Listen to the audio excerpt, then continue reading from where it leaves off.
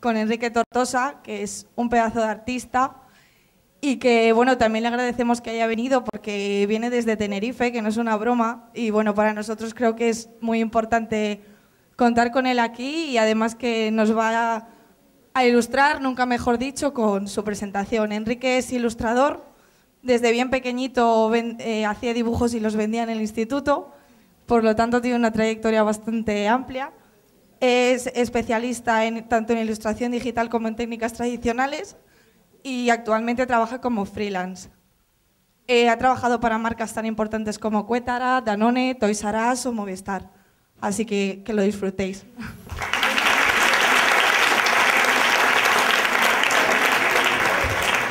¿Se escucha?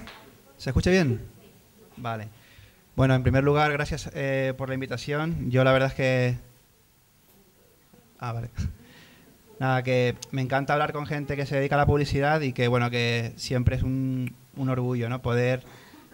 eh, o sea, yo soy muy humilde cuando tengo que hablar sobre mi trabajo y, y, bueno, pues creo que lo más importante de todo esto es, aparte de ser humilde, pues intentar transmitir, eh, pues eso, mucha energía positiva y mucho pensamiento positivo, más en estas épocas que estamos pasando que yo no, no soy partidario de decir que estamos en crisis, todo lo contrario. Pienso que la creatividad es algo fundamental en la sociedad y la publicidad en concreto es una de las mejores eh, herramientas que tenemos para combatir ese pensamiento negativo que a veces parece que te quieren inculcar, ¿no? Eh, yo soy ilustrador. Eh, la chica antes ha dicho una cosa que me ha hecho un poquito de gracia porque dijo, desde muy chiquitito vendía sus dibujos en el instituto, pero bueno, no es así, era con seis años en el colegio, ¿vale? Muchos, de- muchos de ustedes a lo mejor no recuerdan la peseta, pero bueno, yo los vendía a un duro, ¿vale? Hacía Superman, hacía MA del equipo A y una moto, ¿no? Y todos los días hacía dibujitos y en el recreo los vendía.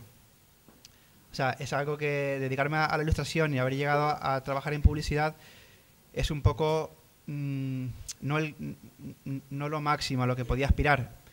Aún me queda muchísimo, muchísimo por recorrer, pero sí es verdad que, que el camino ha sido, pues, pues, digamos, de mucho trabajo, ¿no? Eh, brevemente, no quiero contar tampoco mucho mi, trayectoria porque a lo mejor les aburre. Pero bueno, yo digamos que eh, algo que me encanta inculcar a la gente o, que la gente sepa valorar es el que trabajar, trabajar por cuenta propia eh, más hoy en día es una maravilla. Y, es algo a lo que hay que perder el miedo, ¿no? Trabajar para una agencia publicidad grande está muy bien, pero las posibilidades de trabajar por, por cuenta propia son infinitas, ¿vale? Eh, creo que, no sé si en todos los cargos a nivel publicitario, pero sí ya en la mayoría. Como Hugo bien ha dicho, ¿no? O sea, él tiene su, su proyecto personal y es, es muy, muy bueno.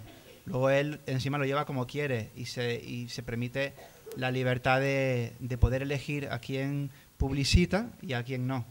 Vale, pues yo, yo un poco, pa- habiendo pasado por muchas cosas y habiendo ilustrado muchas cosas que eh, ahora detesto, pues bueno, ahora tengo la opción de poder eh, elegir un poco más, ¿no?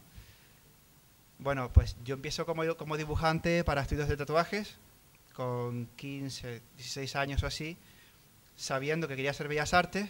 En- yo soy de Tenerife, ¿vale? Y allí, pues lo de estudiar publicidad no tiene mucho sentido, no por nada en concreto, pero sí porque no hay mercado realmente, ¿no? O sea, aquí hay mucho más mercado, hay mucha más preparación y bueno, pues todo está mucho mejor estructurado. Yo sabía que ahí lo más que tenía era Bellas Artes y, a- a- y aún así sabía que Bellas Artes es una carrera que no, no es ideal para ser ilustrador ni para trabajar en publicidad. O sea, no sé, es mi visión personal, ¿vale?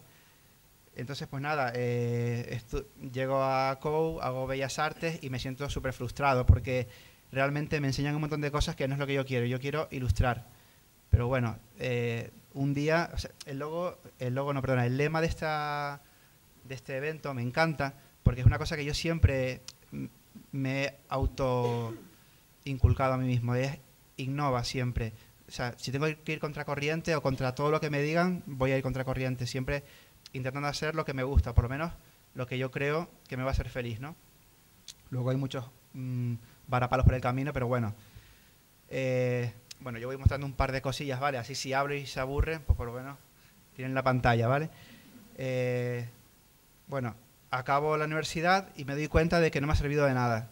Yo quiero dibujar, pero quiero dibujar y al mismo tiempo me di cuenta de que, de que la mente creativa que tiene la idea, el, copy, el, director de arte, toda esa gente, no soy yo. Yo no soy un, tipo que tenga una creatividad excelente ni que se le ocurran unas ideas excelentes. Dependo de, los creativos. Por eso eh, la publicidad me parece tan importante, porque pienso que, que trabajar por mí mismo y hacerlo todo yo, vamos, sería un error tremendo, porque no estoy capacitado para hacer todo me gusta ilustrar, pero me gusta que me digan qué tengo que hacer, ¿no? O sea, soy sumiso, ¿vale? Pero bueno, en publicidad es muy útil. O sea, yo he descubierto que eh, con el paso de los años he hecho muchos proyectos.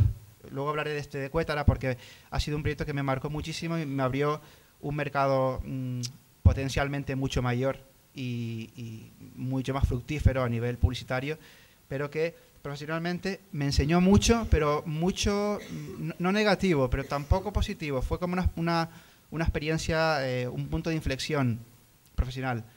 Bueno, acabo la universidad y de repente digo, bueno, eh, no me gusta, no me gusta porque veo que estoy perdido, no sé qué hacer con mi vida y, con un título de Bellas Artes, que es un papelito, eh, no vas a ningún lado. Como bien ha dicho Hugo, un currículum para mí, lo digo con todo el respeto hacia los que piensen lo contrario, pues eh, en, el, en, el, mundo artístico vale de poco, porque lo mejor es, mostrar tu experiencia, tu capacidad técnica o artística y, tu, y, un poco tus habilidades, ¿no? Tanto de comunicación como, como, en el propio trabajo en el que vayas a desempeñarte.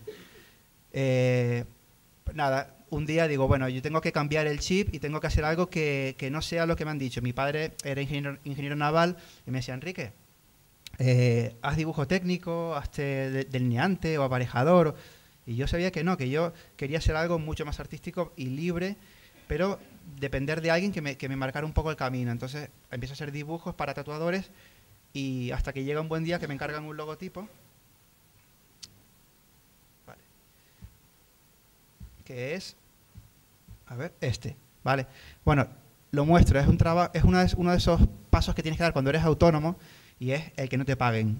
¿vale? Yo empecé eh, cobrando muy poquito y teniendo que luchar contra corriente, ¿no? Bueno, en esa época vivía con mis padres y bueno, pues era más fácil, ¿no? Antes de independizarme, pues todo era más fácil, te lavan la ropa y te, ponen, te hacen de comer, ¿no? Entonces, bueno, pues yo todo ese trabajo que hacía eh, me lo pagaba muy mal, tarde, los tatuadores eh, son un gremio súper que ganan muchísimo y no sé por qué, pues a mí no me pagaban. Entonces, un tatuador de Tenerife me encarga esto como imagotipo para eh, su estudio, ¿no? Como un complemento de su logotipo. Y bueno, pues yo tres días ahí currando en casa y tal, y bueno, pues el tío no me paga. Se lo llevo, ah, Enrique, pásate mañana. Bueno, ese mañana nunca llegó. Entonces, dos semanas después yo decidí coger esto, eh, lo, imprimí con una calidad buena eh, en una copistería y empiezo a mandarlo a editoriales de toda Europa que se dedican al tatuaje yo ya sabía de la publicidad, sabía de las agencias y de las editoriales, pero yo no me sentía ni con un currículum artístico ni con un portfolio adecuado para moverme. Y digo, para que me, para que me pisen de entrada, prefiero ir mm, con cautela. Recurro a las revistas de tatuajes para buscar un poquito una, salida y eh, un agente de Barcelona, en Rebel 7 ediciones, que ya hoy en día no existen, pues ven el dibujo y me dicen, oye Enrique, te proponemos hacer tres páginas eh, de ilustraciones para Flash Tattoo, ¿no? el tipo de arte que se publica para inspirar a los tatuadores, y a cambio pues te pagamos, no me acuerdo si eran 50 euros, o sea, era muy poco, una miseria, pero bueno. Eh, yo le digo, mira, yo no quiero el dinero, lo que, lo que quiero es que a cambio de lo que yo te hago, tú me des una página en tu revista para yo poder anunciarme. Ellos aceptan y yo, pues bueno, en aquella época ponía Enrique Tortosa, eh, dibujante profesional. De profesional aún tenía muy poco, pero bueno, yo ya el ego me ayudaba un poquito a estar ahí. Ponía mi teléfono y tal. Bueno, no me llamaba casi nadie. Los pocos que me llamaban eran tatuadores de Barcelona o de, o de Valencia y tal, que buscaban un set de láminas. Entonces yo me doy cuenta de que existe un, posible filón y es vender ilustraciones para tatuadores. Pero bueno, digo, bueno, ese mundo no me gusta. Entonces le propongo al de la editorial, pues, eh, hacer una colaboración más abierta y mi idea es poder ilustrar diferentes estilos, hacer diferentes tipos de trabajo gráfico, con opción simplemente de, que mi portfolio aumente y en el futuro moverlo a editoriales y agencias de publicidad. Bueno, pues en cuestión de unos meses él me propone hacer una, una revista de tatuajes y de la noche a la mañana yo paso de, de estar en casa sin, sin hacer nada a trabajar los 30 días del mes ilustrando en mi mesa pues eh, entre 8 y 10 horas al día para publicar una revista que hacía íntegramente yo, se vendía en 8 países, 15.000 ejemplares, pero claro, eh, tendinitis en los dos codos, fotosensibilidad de los ojos, lumbalgia, o sea, mm, me pagaban bien, pero no compensaba para nada, o sea, me estaba muriendo, realmente ataques de ansiedad, acabé en urgencias una vez porque tenía que entregar la revista a tiempo y, no me salían ideas. Yo llevaba tres, meses publicando la revista y tenía que hacer 50 páginas. Tenía que. Bueno, aquí se ven algunos tatuajes y algunas portadas de cosas que hice en esa época. Claro, 50 páginas a, un tamaño así, eh, con mucho detalle, haciendo tribales, eh, rollo japonés, eh, o sea, era imposible. Entonces, la ansiedad empieza a poder conmigo, pero aguanto así tres años es, es un periodo de aprendizaje importante donde el sector editorial también entiendo que no es lo mío, porque veo que hay una desproporción, o sea, una relación inversamente proporcional en el, entre el esfuerzo físico y la remuneración económica. Y al fin y al cabo, esto es un negocio, ¿no? Yo pienso que todos estamos aquí, aparte de para crear y evolucionar mm, creativamente, hablando claro, para, para ganar dinero, ¿no? Para poder vivir de lo que nos gusta, ¿no? Que es lo importante. Bueno, digamos que eh, afortunadamente, entre comillas, la editorial quiebra por una deuda con una imprenta, una cosa súper mm, casual, pero que, ocurrió y a mí me vino bien porque, bueno, dejé todo el mundo de la ilustración y me pongo un año a eh, querer formarme, eso fue en 2000, entre 2003 y 2004, a querer formarme en técnicas digitales. Me di cuenta de que dibujar con lápiz es una maravilla, bonito, pero no es rentable, porque realmente o eres Jordi Lavanda y con tus pinceles te dan tres meses para que hagas un cuadro y te pagan 100.000 euros o mm, no, ¿vale? Entonces digo, bueno, ese tampoco es el camino, tengo que seguir buscando. Entonces se me ocurre otra vez el innovar. Entonces eh, lo abandono todo, me pongo a trabajar en un hotel allá en el sur de Tenerife con la idea de, con el dinero que gano al mes, pues pagarme unos estudios eh, pues de informática, Photoshop, Painter, diseño web. Y pues algo me decía ya en, 2000, en 2004 que el diseño web iba a ser esencial. Iba a ser esencial porque eh, hoy en día, o sea, a la vista está, o sea, Internet, eh, yo sin Internet hoy en día no estaría aquí sentado, lo tengo clarísimo. Tampoco sé dónde estaría, pero sé que aquí sentado no estaría. O sea, Internet es esencial. Y yo en 2004 veo que tengo que aprender eh, a moverme en Internet y tengo que empezar a saber vender mi trabajo. O sea, de una, de una forma Mm, simple y, a pequeña escala, yo tuve que hacer una, campaña de publicidad personal y crearme en cierto modo una imagen de marca. También es verdad que yo siempre he dicho que la, marca personal es, algo, es un término que no me gusta demasiado.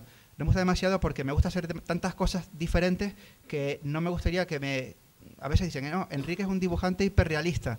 Sí, pero es que también me, encanta la ilustración infantil. O sea, por ejemplo, yo disfruto, esto fue una portada de un disco pero esto es el, logotipo que luego también hice toda la aplicación para una aplicación para iPad para que los niños aprendan cosas sobre los animales. Eh, me encanta, rollo hiperrealista, pero también, o sea, me encanta el tema del packaging. El packaging es un mundo increíble. Pero también me encanta hacer cuentos infantiles. O sea, como me gustan muchas cosas, lo de encasillar a Enrique como una marca mm, es difícil y casi lo prefiero. No, no quiero ser no pretendo ser ni reconocido ni, que se me asocie con un sello en concreto, sino yo ser feliz. Y, para yo ser feliz tengo que hacer muchas cosas, porque para mí en la variedad está lo bueno, ¿no? Intentar ampliar mis habilidades. Bueno, pues nada, eh, pasa ese, ese plazo de la, de la editorial Rebel 7, estudio, aprendo a hacer una página web y cuando aprendo a hacer la página web, en 2005 empiezo a mover mi trabajo por internet muy chabacano todo. Yo tenía siete dibujitos de tatuajes, pero yo me, vendía, me exageraba mis habilidades. Y en internet yo ponía dibujante, freelance, profesional. A duras penas sabía lo que significaba en aquella época freelance, pero bueno.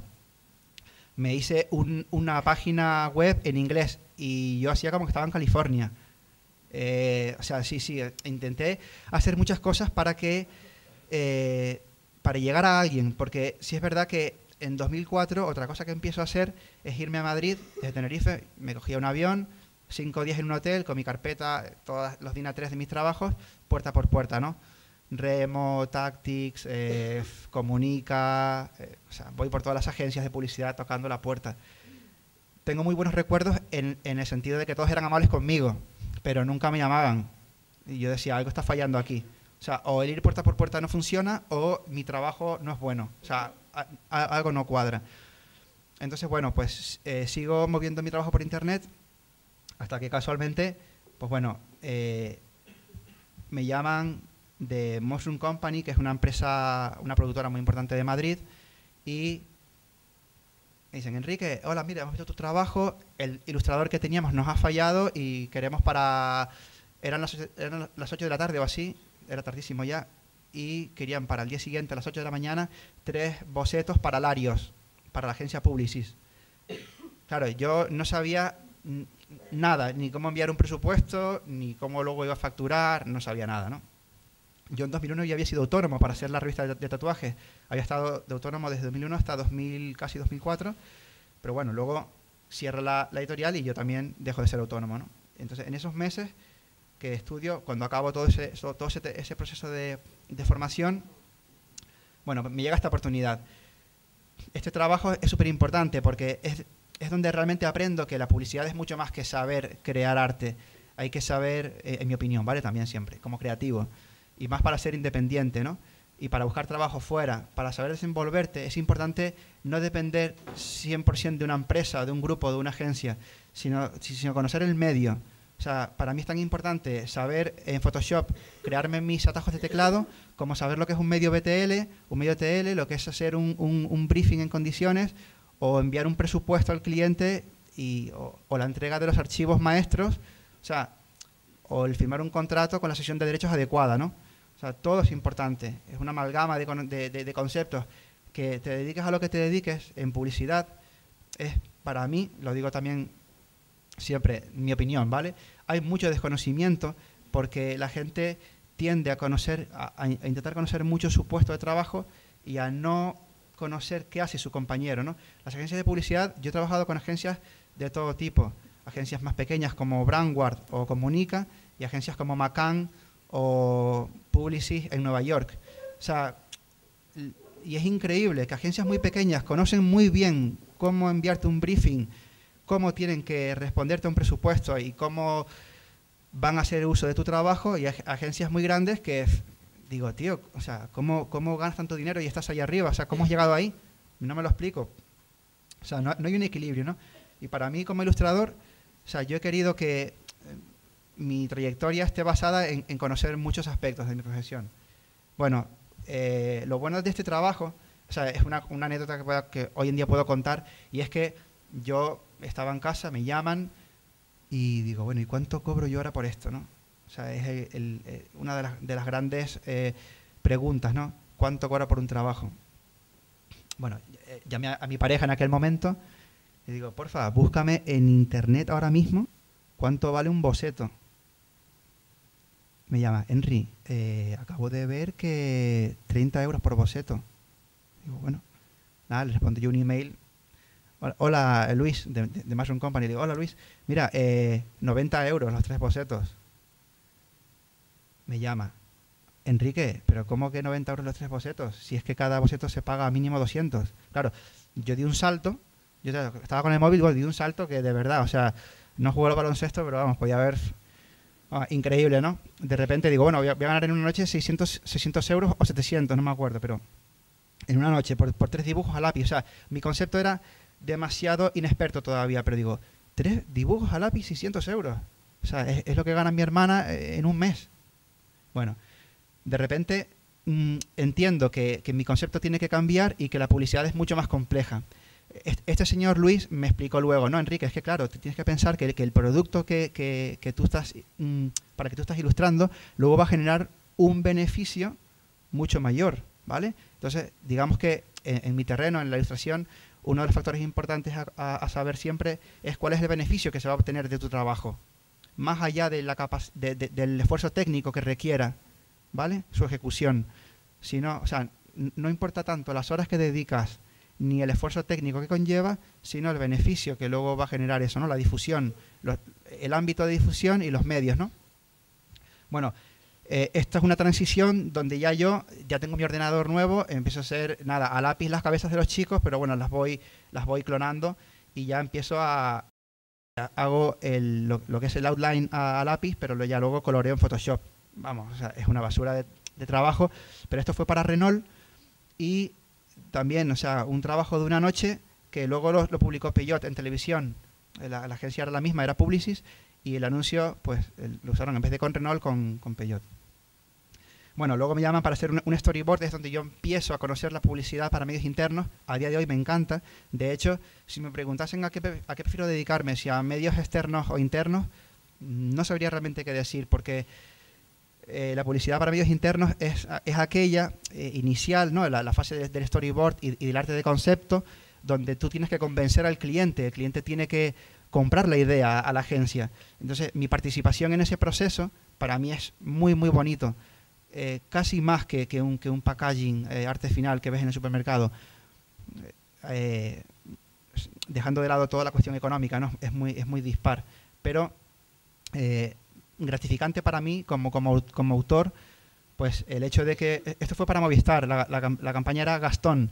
O sea, Movistar vio el storyboard y, compró la campaña. ¿vale? Entonces, pues bueno, para mí eso tiene más valor que, que, lo que luego hice para Cuétara o para Solano a nivel mundial es una cosa personal mía, ¿no? Bueno, eh, también e, en este momento yo me di cuenta de que esto está muy bien, pero hay muchas cosas que yo todavía no controlo y tengo que seguir aprendiendo. Eh, mi, web, yo me di cuenta de que hay mucha competencia y ya no me gusta ni tocar puertas ni enviar currículums. Yo empiezo a intentar que vean mi trabajo, pero de una forma no invasiva. No me gusta la publicidad. Odio recibir un email de una, de una agencia o de una empresa a la que yo ni he pedido publicidad ni ni he solicitado nada. Entonces, pues yo quiero seguir esa dinámica y digo, yo voy a, mover mi trabajo, pero de una forma no invasiva. Y lo, lo hago queriendo llegar a un ámbito de difusión mm, localizado, pero, pero por, mm, digamos, por países. Me empiezo a, publicar en muchos países y en Estados Unidos, pues lo que contaba antes, ¿no? Me hice una página web en inglés muy sencillita, como si yo fuera un ilustrador americano. No ponía mi nombre en ningún lado. De hecho, luego me enteré por la autora que había sido una buena idea. Y me llaman Hill, una empresa muy grande en Estados Unidos, para hacer libros eh, educativos para niños, para los colegios y tal. Y me dicen, eh, bueno, recibo el email, Enrique, tienes 48 horas para hacer seis libros. Digo, o sea, es, imposible.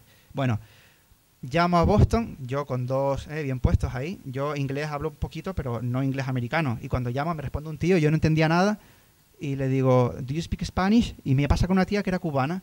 Bueno, era casualmente la autora de, los cuentos, que también trabajaba como redactora en esa editorial. Empezamos a ver, mira Enrique, tío, o sea, esto es una oportunidad para ti de oro. 48 horas, 6, cuentos, creo que eran 8, ilustraciones por cuento, eran pequeñitos, ¿no? Si lo haces, pues ya estás en el mercado americano. Claro, digo, por supuesto. Pero tu nombre no va a salir. Y digo, ¿cómo? Bueno, me explicó que en Estados Unidos el, rollo eh, de, los, de, los, gremios, ¿no? de los sindicatos, está muy, muy, muy protegido, y igual que y, en ese, y también los autores. Entonces, yo, al no ser americano, pues no, no tenía nada que hacer. Y presentan, dice, todos los dibujos, yo voy a presentar los dibujos sin tu nombre, pondré un nombre americano. Digo, vale. Y dice, y una vez que estén ya listos para imprenta, lo cambio por tu nombre. Bueno, pues así lo hizo y fue un poco otra, otra experiencia más para mí de, de, saber la importancia que tenía, ¿no? De, o sea, vale, el mercado americano está increíble. Conozco eh, copywriters eh, aquí en Madrid que trabajan ahora mismo como freelance para agencias de Nueva York, están de puta madre. Conozco directores artísticos que están en, Valencia y trabajan como, como freelance también para, para Boston, Nueva York, Los Ángeles y todo freelance. O sea, ya, ya hoy en día romper esa barrera cuesta muy poco. En mi opinión, es, bueno, Luego me llegaría una fase en la que yo empiezo a coger proyectos pequeños, pero siempre enfocándolos a, un, futuro mm, más fructífero. Esto fue una empresa de Bilbao que lanzaron una web, me dijeron, mira Enrique, una fresa con chocolate y tal. A mí esta ilustración no me gusta, pero bueno, eh, casualmente cuajo que la puse en internet, empecé a publicar anuncios tipo locuo, ¿vale? O milanuncios.com y yo ponía Enrique Tortosa, ilustrador, tal, y ponía algunas ilustraciones. Cuando puse esta, casualmente, me llama eh, una agente representante de artistas y me dice, oye Enrique, esto es tu trabajo y tal, te quiero proponer para hacer packaging, para hacer publicidad. Y bueno, pues ahí es un poco donde viene el salto ya de, medios internos a, publicidad, ¿no? Hablando ya... Mm, bueno, de repente yo veo que sí, eh, llevo dos años haciendo storyboard para, para todas las firmas habidas y por haber, eh, agencias un montón, todo bien. Me encanta trabajar en publicidad cuando el creativo me transmite su idea, ¿vale? Hay un proceso que yo siempre llamo el, de, el de la fase previa, que es de, contacto y negociación, donde el, cliente me transmite su proyecto, la idea que tienen, si es, si es factible, si no, eh, a nivel técnico, ¿vale? El timing, toda la historia. Y, en, en toda esa fase yo aprendo muchísimo y de repente, pues, pues mi ego dice, oye, Enrique, sí, está genial, llevas dos años haciendo storyboard para Renault, eh, para Jeep, para Movistar, para Toys R para Muta Madrileña, o sea, de todo. Y súper bien pagado. Pero oye, mm, no puedo publicar mi trabajo. Eh, quiero que alguien sepa que aparte de poner yo el nombre, salga algo. Bueno, pues es como la fresa de antes, hago algunos trabajos así para empresas pequeñas. Lo que se vio antes también de la chica eh, es, un, es un logotipo para un, para un teatro de Bilbao, este, también me pagaba un poquito, pero yo decía, bueno, esto es una tiene potencial. O sea, estaba mal pagado, pero tiene potencial. Y entonces yo cojo ese trabajo y también lo empiezo a mover. Con la idea de, pues, de editoriales, productoras de cine, eh, gente que pueda pagar más y ya sea para medios externos. Bueno, me llaman y me dicen, Enrique, eh, queremos que hagas el, el, packaging de Cuétara. Tu fresa ha gustado muchísimo y un tío de Cuétara la ha visto y quiere que seas tú. Claro, yo de la noche a la mañana digo, bueno, eh, no estoy preparado realmente, no tengo la formación ideal para asistir a una reunión y, estar con el director de, de Cuétara, no sé qué, un, tío de marketing de Cuétara, el director de arte de la agencia de publicidad, la ejecutiva de cuentas, todos reunidos, y yo me sentía ahí súper pequeñito, ¿no? O sea, me sigo sintiendo súper pequeñito siempre que, tengo una reunión. Pero bueno, creo que me beneficia, ¿no? Sentirme así.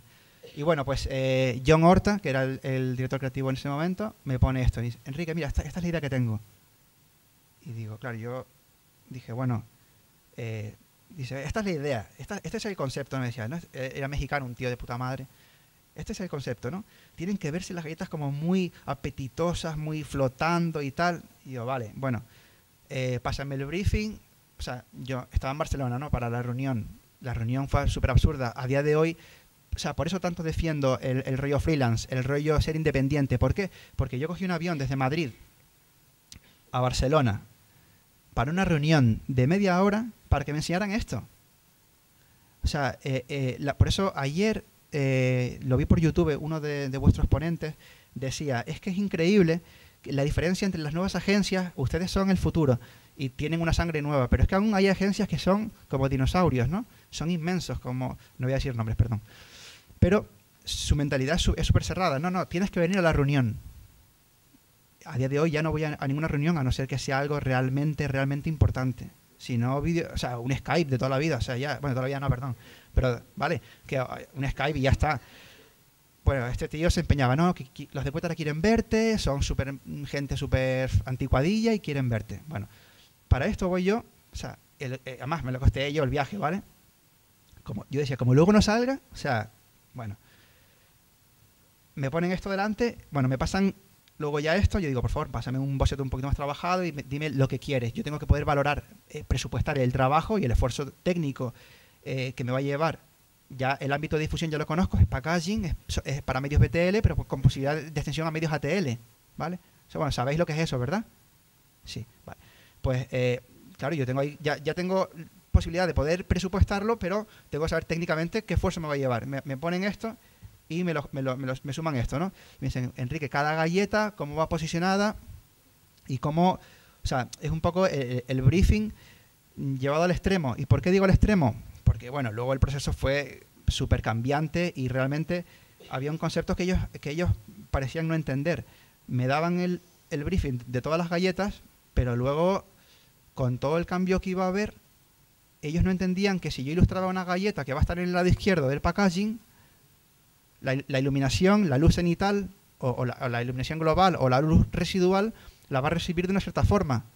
Y si luego la galleta esa va a estar recolocada en el lado, en el lado inverso del, pack, del front pack, eso todo cambia. Yo no hago 3D. Entonces, el director de, arte no tenía claro ese concepto. Otra vez retomo lo anterior, ¿no? El, que aunque tengas un puesto en una agencia de publicidad, sepas mínimamente qué, qué función hace tu compañero, ¿no? O hace el, el que hace el, el arte, ¿no? Bueno, yo les paso este boceto, pero más que nada para ir ya recolocando y, empezar a conducir el, proyecto, ¿no? Y bueno, pues hay una, pequeña evolución. No sé si aquí se puede ver. O sea, esta es la, típica cosa que se ve aquí, el envoltorio azul, y de repente dicen que no, que el envoltorio tiene que desaparecer. No se puede identificar la submarca de esa galleta que se vende por separado con la que se vende en el surtido. Bueno, hay una serie de cambios. Bueno, y digamos que cuando, cuando ellos me aprueban este boceto, ¿vale? Yo tengo que pasar a la siguiente fase, que es preparar, eh, digamos, lo que va a ser el arte final, ¿vale? Y en ese proceso, pues, hablamos de casi un año, ¿vale? Porque Cuetara se toma muchísimo tiempo para el feedback, lo someten a grupos de opinión, tanto cualitativos como cuantitativos, o sea, es una cosa súper... A mí se me escapaba de las manos, de hecho, yo llegué a ver un papel encima de la mesa de John Horta donde ponía que todo este proceso costaba 3 millones de euros. 3 millones de euros para cambiar una caja de galletas. O sea, no, para mí era algo que se me escapaba, ¿no? A mi conocimiento. Bueno, pues yo paso a la fase de comprarme, voy al supermercado, compro la caja, esta es la mano de mi novia, ¿no? Que se ve aquí. Y no sé, si, no sé cuántas fotos habremos hecho, pero yo creo que 500 o no sé. Todas las perspectivas, todas las galletas, o sea, la textura, esto es un alfiler, o sea, tenía que colocarlo de mil formas porque ellos, ellos tenían que ver reconocida, eh, aparte de tú darle apetitosidad e idealizar la marca, tienes que mantener la identidad al mismo tiempo, ¿no? A veces son conceptos un poco contradictorios porque no es fácil, ¿no? Idealizar y al mismo tiempo. Bueno, pues yo hago este boceto, ya en plan rollo montaje realista, y ya empiezo a dar un poco la personalidad a cada una de las galletas, que como es, era factible que se vendieran por separado, pues tenía que tener cada una de ellas una, una mm, personalidad propia, ¿vale? Y yo tenía que trabajarlas pues teniendo en cuenta muchos factores de iluminación y, y, de, y de, identidad de, de, su producto para que luego se pudiese, digamos, utilizar por separado, ¿no? Por ejemplo, este, este, esta galleta que luego se vendía por separado, bueno, pues de repente después de estar yo enviando muchos bocetos, me mandan este envoltorio y me dicen, no, Enrique, donde antes estaba este envoltorio, ahora va a ir este bueno, pues yo tengo que cambiar el envoltorio. Parece una bobería, pero bueno, técnicamente llevaba su trabajo. Al mismo tiempo aprovecho, voy refinando todo el proyecto, ¿vale? Luego quiere el, tío, o sea, en había un tío que ustedes cuando sean, eh, bueno, cuando sean, cuando tengan el cargo que sea en una agencia o cuando se dediquen a la publicidad, se toparán, si no lo han hecho ya, con clientes que, con todo el respeto lo digo, pero con palabras mayores, no saben nada de publicidad. Pero aún así se empeñan en que le venda sus productos como ellos quieren. No, no, es que yo quiero que sea así, tú. Pero, tío, si es que esto no queda bien. Pero bueno, yo soy de los que siempre me callo. El producto es tuyo y el beneficio luego lo vas a obtener tú y las pérdidas las, vas a tener tú. O sea, no es mi responsabilidad eh, el, cómo se, se, lleva a cabo luego ese, ese, marketing, ¿no? Entonces, pienso que la agencia de publicidad tiene una responsabilidad enorme, tiene un valor enorme, todos los creativos, toda la gente que está en una agencia tiene un valor enorme, pero al mismo tiempo, pues eh, los clientes tienen que saber dejar hacer a la, agencia de publicidad, ¿no? Bueno, saco las galletas del envoltorio, hay una evolución, ¿vale? Y de repente, bueno, eh, cuando ya está, esto era el previo al arte final, era el, boceto previo al arte final, para que me dieran el, ok, y de repente me dicen que, que, hay una galleta, esta que está arriba, que va a desaparecer, y bueno, como que van a haber cambios, ¿vale? Que van a querer quitar un par de galletas y poner cosas nuevas. Entonces yo digo, oye, o sea, a ver, aquí hay que Mm, hay que renegociar el presupuesto, hay que firmar un nuevo acuerdo de colaboración, eh, de confidencialidad y toda la historia, para yo poder usar los trabajos previos. O sea, eh, es otra cosa curiosa, ¿no? Los creativos, los autores, o sea, los ilustradores barra autores, tienen que saber cómo pueden ejercitar eh, sus derechos y cómo pueden hacer uso de su trabajo, incluso las fases previas al arte final, ¿no? Muchas veces, si no está bien atado, pues es un poco ambiguo quién se queda los derechos de, los trabajos, ¿no? Pero bueno, yo decido que mientras ellos, yo les mando el presupuesto y mientras ellos mm, eh, se aclaran si lo aceptan o no, yo paso a ser la, parte trasera, que era un, un, proyecto aparte, ¿vale? Y bueno, pues esto es un poco lo mismo, ¿no? O sea, se hace un briefing, ellos me dicen cómo quieren la galleta, cómo tiene que aparecer, cómo tiene que representarse, y yo pues les hago Vale, vale, esta sería el, la fase final del, del diseño trasero. Y, pa- y para el front, pues bueno, de repente esto sería como quedó al final, ¿vale? La, la- digamos, la nueva fue esta de Coco, que al principio no estaba y había que añadirla. Y bueno, pues todo este proceso eh, dentro de una agencia de publicidad es como si fuera un mundo muy, digamos, para mí era demasiado extraño, porque se notaba que la presión del cliente no dejaba que el creativo hiciera lo que consideraba más oportuno, ¿no? O sea, ahí es donde entra en juego el, saber comunicar al cliente que te dejas, que, sea, que te deje actuar, que te deje hacer lo que, lo que tú eh, humildemente sabes hacer mejor que él. Bueno, hasta el punto de que había un tío en cuenta que me decía, no, tienes que presentar varias inclinaciones de la galleta. Bueno, pues yo tuve que hacer, no sé, como 30 entregas de el arte final, pero movido para que el tío dijera, no, pues me gusta con tal inclinación. Bueno, luego es verdad que esto se, este producto luego se sacó independiente, que es un machanguito, no sé si lo han visto, que, con el culo al aire, las nosilleras y no sé qué, el cacho barra y todo eso.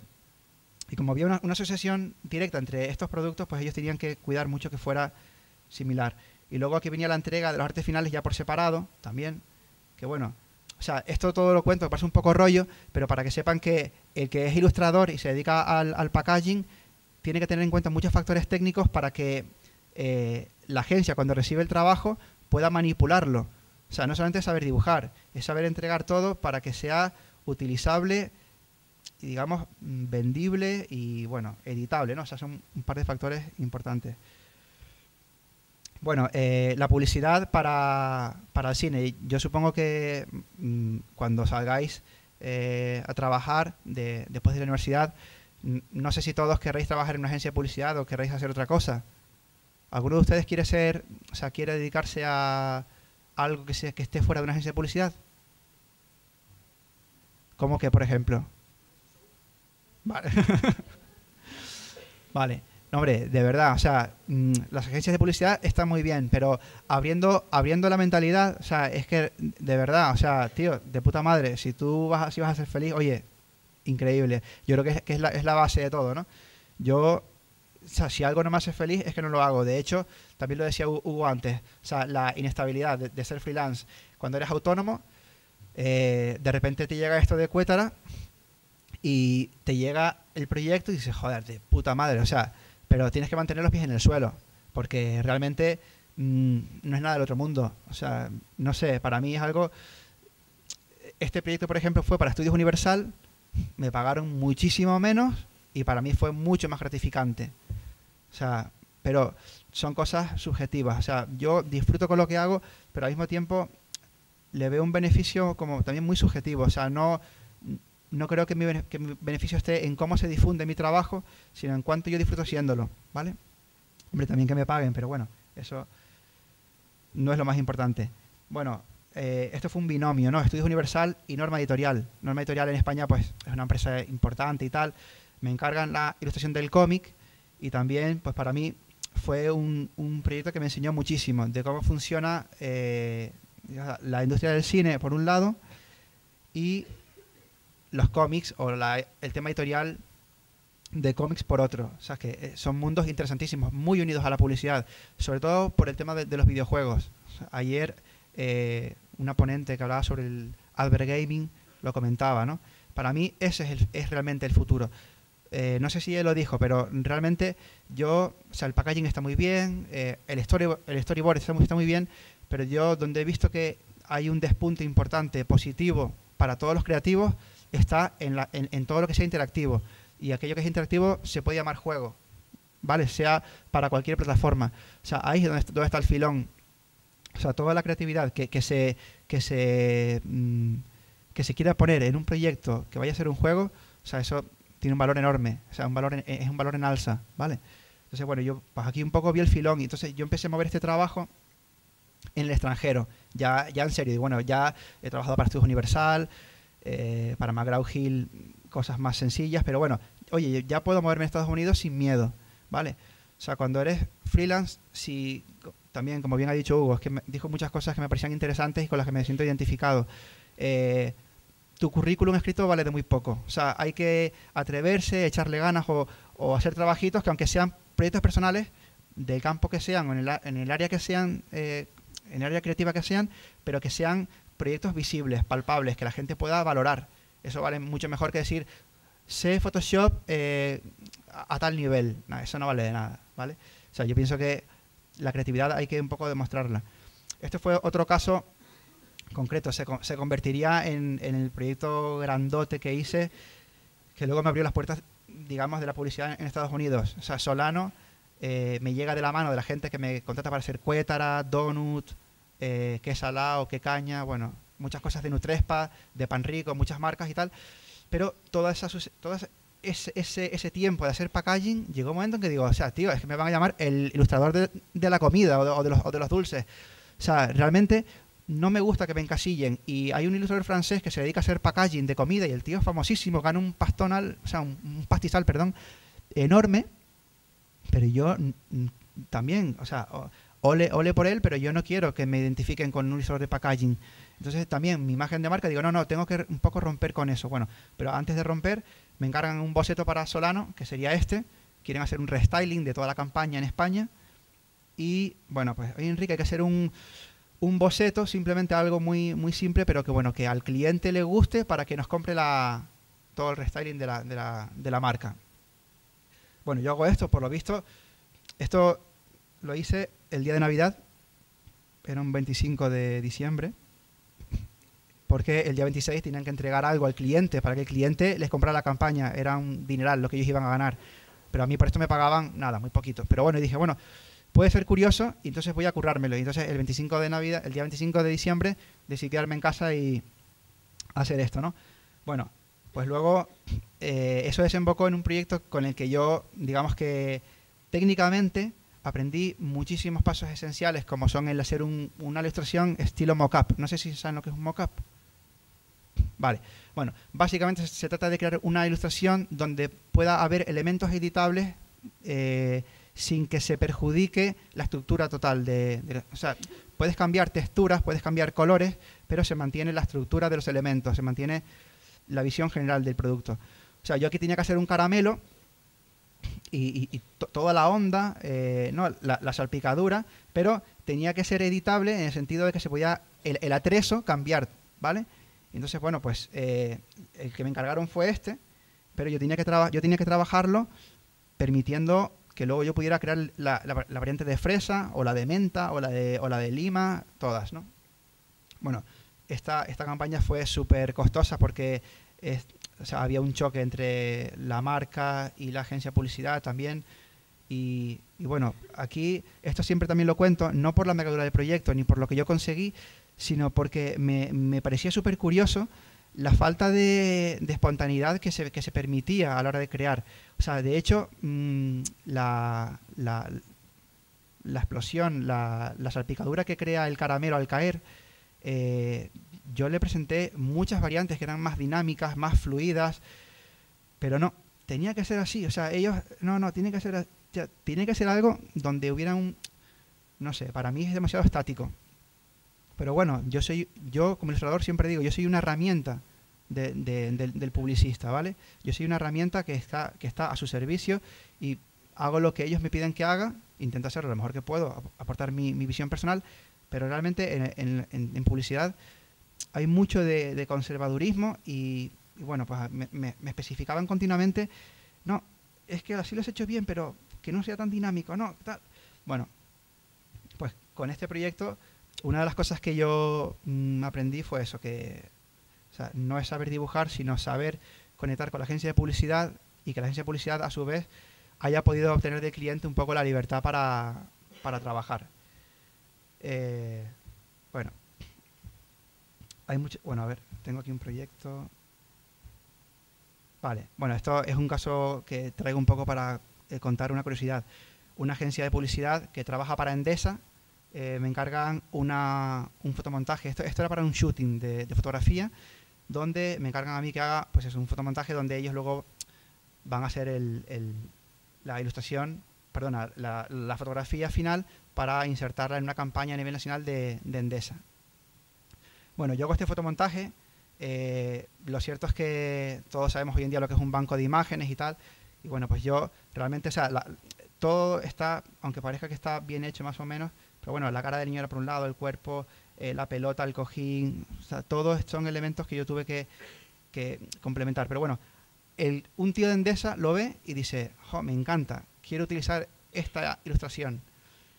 Entonces me llama la agencia, un tío de la agencia de publicidad, oye Enrique, mira, que, nada, que quieren comprarte los derechos para, para usar esta ilustración, este fotomontaje, para Endesa, para a nivel nacional. Y digo, tío, o sea, esto no tiene ni la calidad suficiente, ni lo he trabajado con la resolución de un arte final, ¿vale? O sea, hay muchísimos defectos. Bueno, ¿y tú podrías arreglarlo? Digo, mira, es que sinceramente, o sea, eh, primero, tiene, si tú has cogido fotos de niños de un banco de imágenes, tú tienes que comprar los derechos a ese banco de imágenes para una, extensión de derechos, para un ámbito de difusión mayor. Ya no hablamos de un medio interno. Si tú compras una ilustración, una, una, foto en un banco de imágenes y pagas 3 euros para medios internos, pues perfecto. Pero si lo vas a usar para una publicidad externa, medios BTL, ya el precio se dispara. Y el tío no sabía, ah, vale, claro, ahora, vale, ahora lo entiendo. Digo, o sea, ya no es lo que me vayas a pagar a mí, sino que luego tendrás que hacerte cargo de los costes que, que, que, genere todos esos derechos de, de, uso de imagen, ¿vale? Entonces, bueno, es un caso curioso porque la agencia era una agencia importante y Mm, tampoco, por su dinámica interna de, no saber bien cómo gestionar la compra de imágenes, eh, adquirir la sesión de derechos y tal, al final se echaron para atrás.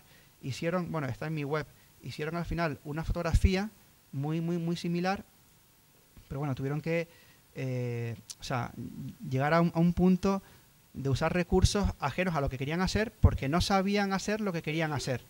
¿Vale? Era un poco bueno, luego el diseño textil. También en publicidad es súper curioso porque ahí conozco un chico de Valencia que es eh, copywriter y él eh, trabajaba en una agencia hasta hace, no sé si un año y medio así, y de repente dice, no, yo lo que quiero empezar es hacer, mm, o sea, a crear ideas para vender a las empresas mis ideas, que las compren, y luego yo me encargo también de buscar al creativo que lo vaya, que lo va a llevar a cabo. ¿Vale? Entonces, es como un cambio de dinámica. Eh, este tío, o sea, él crea la idea, busca clientes potenciales que, puedan querer comprar esa idea y si, el cliente la compra, él pues firma un acuerdo y se encarga de perfeccionarla, hacer el briefing y buscar al creativo que, va a desarrollar esa ilustración. Y bueno, pues en este caso es una empresa de, Barcelona que con, con, ese tío de Valencia, pues llegan a un acuerdo, deciden qué quieren hacer y también ahí yo hago un nuevo contacto y empiezo a, conocer eso. Otra, otra forma de moverse en publicidad que es, o sea, va un poco en contra de la mentalidad de agencia, ¿no? Pero para mí es súper útil, o sea, es conocer varios aspectos de, la publicidad y llevar a cabo tus proyectos, a lo mejor a menor escala. Esta empresa se llama Trupsim, eh, fabrican toallas y ponchos para niños, pero bueno, lo distribuyen a nivel mundial, o sea que tampoco les va tan mal. Pero no es una, no es una marca conocida, no es Sara o, o Berska, pero si es verdad que el tío que lo ha hecho, el, antiguo copywriter que lo ha hecho, hoy en día, o sea, el tío se dedica a eso. O sea, tiene una idea, eh, o sea, busca posibles mercados donde él quiera introducirse. Busca una idea, contacta con el tío de la empresa, le propone la idea, el tío si la acepta, le dice, ok, pues venga, yo me encargo de llevarte a cabo todo el proyecto. Entonces el tío, me o sea, e-, ese, ese copy me contacta a mí, ¿vale? Me propone el trabajo y bueno, claro, yo cobro X y luego él pues se lleva su, su, gran montante. O sea, la publicidad está cambiando mucho, ¿no? Eh, el, uso de las redes sociales es otra cosa también que quería comentar así brevemente. Yo personalmente creo que Internet es el futuro, ¿no? O sea, es el presente y, y es el futuro. O sea, sin Internet yo no sé dónde estaría, pero no estaría aquí, eso lo sé. Y está Facebook, está LinkedIn.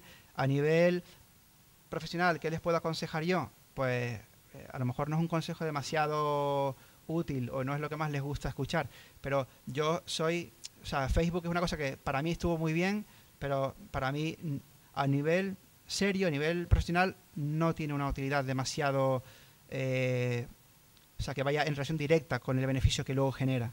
O sea, sí, hay 4 o 5 o, o 20 o 30 empresas o marcas o personajes que sí le sacan a Facebook un partido enorme, pero tal como están las cosas hoy en día, cuando ustedes acaben la carrera, ¿qué, recomendaciones les puedo dar? Pues que piensen que si van a buscar trabajo aquí, pues de puta madre. Eh, habrá ciertos, ciertas redes sociales o medios que puedan usar sin problema. Pero si van a buscar en el extranjero, es curioso porque cuando eh, trabajas para Estados Unidos, eh, es muy raro el que busca por Facebook a un creativo.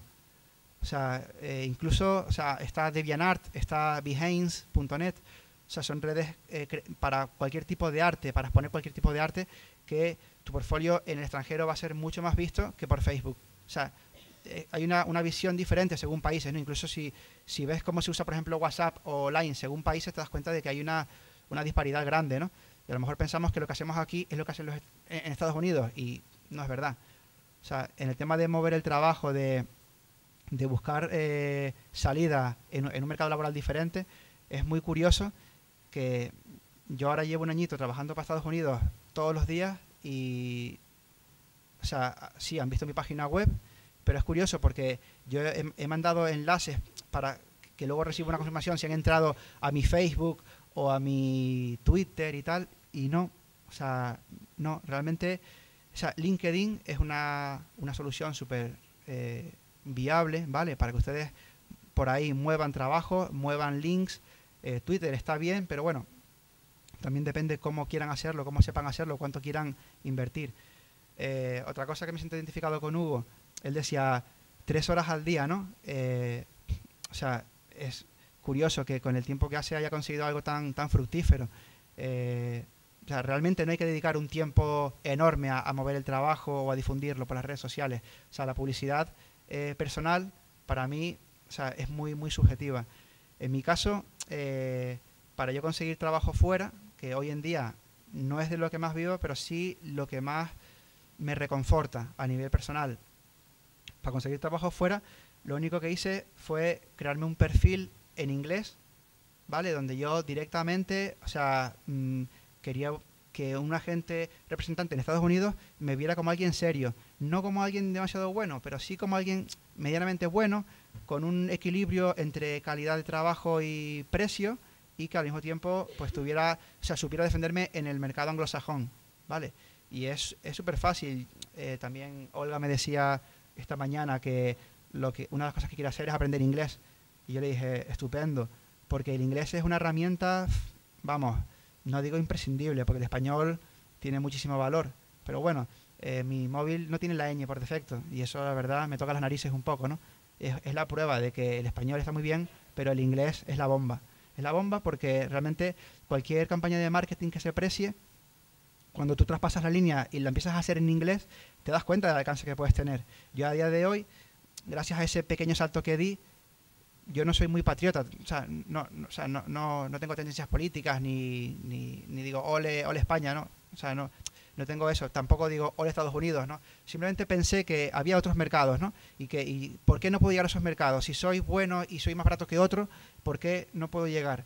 Pues la herramienta que me hacía falta era el inglés y cuando doy ese paso me di cuenta que crearme un perfil eh, no anglosajón, pero sí afín con ellos y con su forma de trabajar, pues es una puerta eh, indiscutible. Hagan lo que hagan. Eh, o sea, motion graphics, animatic, storyboard, concept art.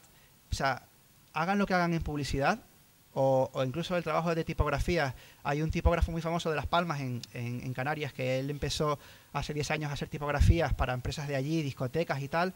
El tío se hizo, un, eh, hizo un perfil en Facebook, no le sirvió de nada, porque es como yo, o sea, te ponen me gusta, me gusta. Perdón, lo digo con todo el respeto. ¿De qué sirve que me pongan me gusta? Es que no me sirve de nada, porque eso no me da de comer. O sea, es que eso no me sirve a mí de nada. Sí, es una difusión. Sí, pero la, difusión no va en relación directa con, con la remuneración ni con el caché. Y al fin y al cabo, la calidad de vida te la da el equilibrio entre muchas cosas. Pero bueno, yo no quiero estar con 50 años siempre teniendo que estar poniendo cosas en Facebook para que me digan me gusta. O sea, tiene que haber un equilibrio. O sea, y hay ciertas cosas que ves en, en otros mercados, de otros países, que funcionan diferente como funcionan aquí. O sea, está muy bien el uso de, de las redes sociales para ganar notoriedad, pero, o sea, en mi opinión hay que, hay que tener mucho cuidado y a veces vale más la pena poner menos cosas, pero más, más, o sea, mejor pensadas que no cosas al azar ahí a ver un poco como cuaja, ¿no? Eh, o sea, este año que llevo trabajando para Estados Unidos es súper curioso. conozco y, incido en eso de nuevo. gente que se dedica a muchos sectores de la publicidad que están trabajando para Estados Unidos desde Tenerife, Las Palmas, Valencia, Barcelona, Madrid, Bilbao. Y gente que lo hacen todos desde su casa. O sea, yo trabajo desde casa y también le decía a ella esta mañana y, a Patricia que, joder, he hecho de menos o sea, estar con gente, lo echo de menos, porque realmente trabajo en casa, todas videoconferencias, eh, o sea, soy muy feliz con lo que hago, pero la publicidad, desde mi punto de vista, es como, o sea, de alguna forma es como, estoy así, a ver quién me llama, ¿no? Y qué me encargan para mañana. Pero bueno, lo cierto es que si te gusta lo que haces, pues bueno, y entras en esa dinámica, me encanta hablar con publicistas que me transmiten sus ideas y es más, a veces, por ejemplo, me llaman, hace poco hice un, storyboard para Cruzcampo, que fue un coñazo tremendo, porque luego hicimos el animatic y todo, y el cliente les compró la campaña, ¿no? También con un año de antelación, o sea, ha sido hace poco, pero saldrá para el año que viene, por lo menos. Y el creativo me contaba su idea y yo decía, le decía, tío, qué buena idea, o sea, yo te puedo llevar a la práctica ese storyboard, te puedo hacer el rollo hiperrealista. Eh, a ver si tengo aquí. No, vale, pues no, no lo tengo aquí. Bueno, nada, chicos, pues nada, muchas gracias por la invitación. Se ha pasado el tiempo volando.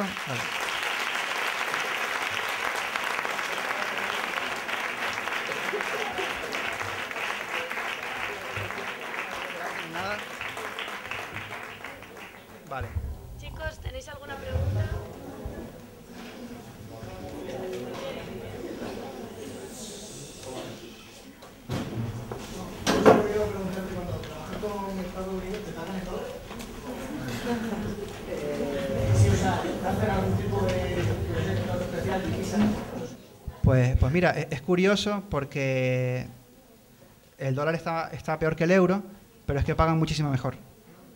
Sí, o sea, pero muchísimo mejor. O sea, en España hay empresas muy, muy, muy potentes.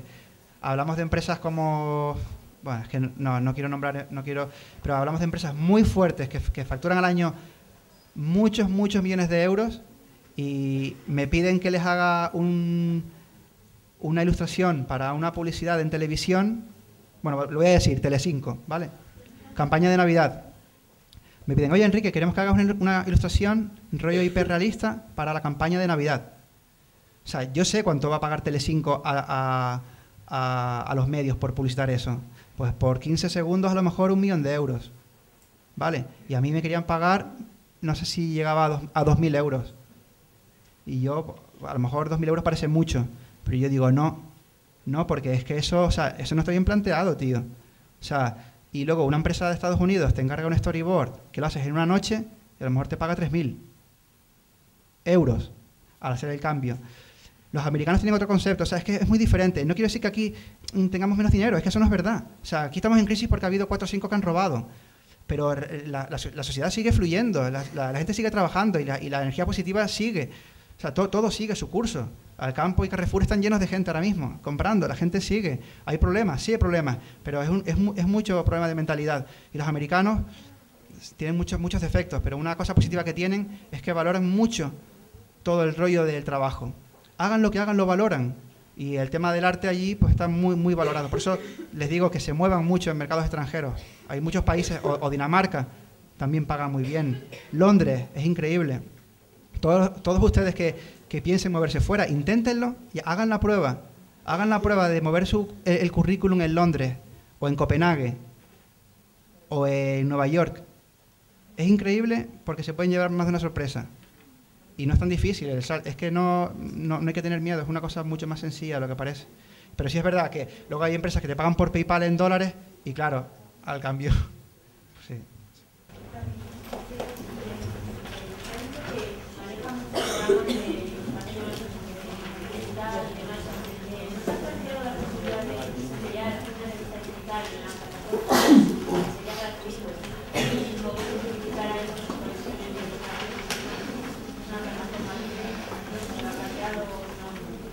Mira, mira, yo he cometido muchísimos errores, ¿no?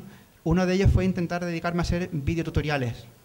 Eh, otra cosa fue intentar participar en varias revistas de técnicas digitales. Mira, ni tengo tiempo, o sea, afortunadamente no tengo tiempo, pero también creo que cada maestrillo es su librillo y yo hay muchas cosas que me encanta hacer, pero aquellas donde yo creo que yo no puedo aportar nada nuevo, no me gusta y, y lo de enseñar técnicas o mostrar mi trabajo, o sea, yo me centro mucho en mi web y en LinkedIn. Eso, son un poco las vías que yo uso serias para trabajar. Luego en Twitter pongo alguna cosa, o en Facebook pongo a lo mejor algún dibujo mío, o algo de ordenadores, que me encanta la informática, pero, o sea, mm, no sé, hacer algo, una, revista digital, o sea, he visto la, vuestra y, bueno, digo vuestra, sí. Y, me ha gustado mucho, pero yo ni soy capaz de hacer eso, ni, ni creo que pudiera aportar. Es que yo no soy creativo, de verdad. O sea, a mí dime lo que tengo que hacer y lo hago, pero no me digas que tenga yo una idea porque me cuesta muchísimo. Vale. Gracias eh, a vosotros.